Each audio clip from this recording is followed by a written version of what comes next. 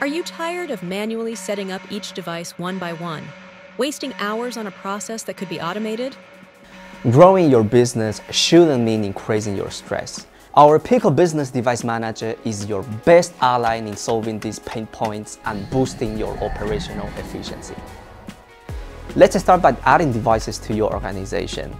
This process is quick and straightforward. You just need to introduce the serial number or download the template to do bulk enrollment. Once the devices are enrolled, go to the Device Information tab for a clear overview of each device. This feature ensures you are always informed about the key details of your headset fleet.